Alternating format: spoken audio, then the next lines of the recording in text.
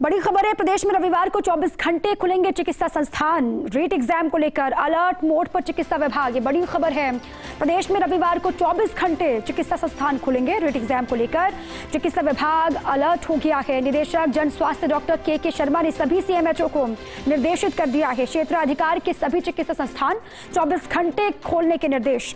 साथ ही संस्थानों में राउंड द क्लॉक स्टाफ लगाने के भी निर्देश दे दिए गए हैं। इसके अलावा परिवहन मार्ग के आसपास वाले संस्थानों को लेकर भी निर्देश दिए गए हैं। इन संस्थानों में पर्याप्त दक्ष स्टाफ की नियुक्ति करने के निर्देश दे दिए गए। परीक्षा केंद्र पर सैनिटाइजर, कोविड गाइडलाइन की पालना करवाने के भी निर्देश हैं। कोई भी लापरवाही ना हो, कोविड प्रोटोकॉल बहुत महत्वपूर्ण है और रेट एग्ज़ाम को लेकर ही महत्वपूर्ण ये कदम। इसी पर मेरे सहयोगी विकास शर्मा जुड़ चुके विकास, रेट एग्ज़ाम सभी के लिए बहुत महत्वपूर्ण है। चिकित्सा विभाग ने भी अपनी ज़िम्मेदारी को समझते हुए ये निर्देश दिए हैं। विस्तार से बताएँ। देखिए इस वक्त कोरोना की थर्ड लहर की आशंका है और थर्ड लहर की आशंका के बीच में प्रदेश की सबसे बड़ी परीक्षा जो है वो रविवार को होने वाली है और इसको देखते हुए चिकित्सा विभाग ने बड़ा अलर्ट जारी किया है।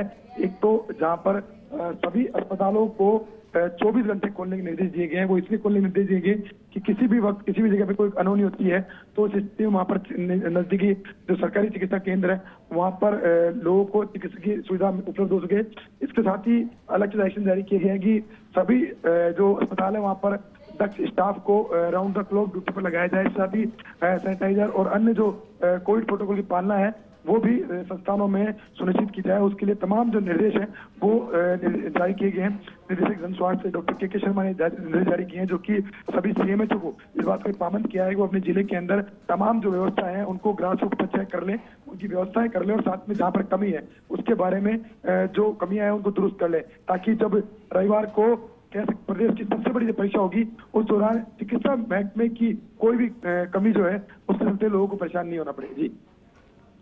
बिल्कुल विकास। और परीक्षा शुरू होने से सुबह से लेकर के रात तक जो संस्थान है वो खुले ही रहेंगे इस निर्देश के मुताबिक?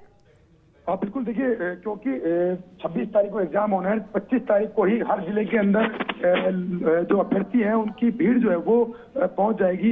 इसमें इसको देखते हुए 25, 26 और 27 तीन दिन के लिए अलर्ट जारी किया गया तीनों दिन पूरी तरह से व्यवस्था सुनिश्चित रखें।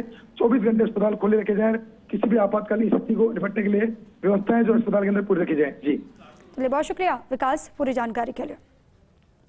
तो चिकित्सा विभाग की तरफ़ से ये कदम उठाया गया रेट एग्ज़ाम होना है। संडे को रविवार को इसलिए भी आ, सभी ने मोर्चा संभाला हुआ है। परीक्षा केंद्र पर कोविड प्रोटोकॉल की पालना करवाने के निर्देश भी दिए गए हैं सैनिटाइजर।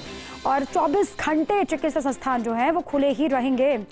ये अलर्ट मोड पर चिकित्सा महकमा है, आप कह सकते हैं, रेट परीक्षा को लेकर। निदेशक जन स्वास्थ्य डॉक्टर के के शर्मा ने सीएमएचओ को निर्देश दिए हैं सभी। क्षेत्राधिकार के सभी चिकित्सा संस्थान 24 घंटे खुले रहेंगे, ये निर्देशित उन्होंने किया है। रेट परीक्षा बहुत महत्वपूर्ण है प्रदेश के लिए। और परिवहन मार्ग के आसपास भी जो संस्थान है उनको भी खुले रखना होगा 24 घंटे तक। प्रॉपर वहाँ पर स्टाफ हो इसकी भी आ, बात कही गई है। इसके लिए भी निर्देशित कर दिया गया कि स्टाफ की ज़िम्मेदारी खुद संस्थान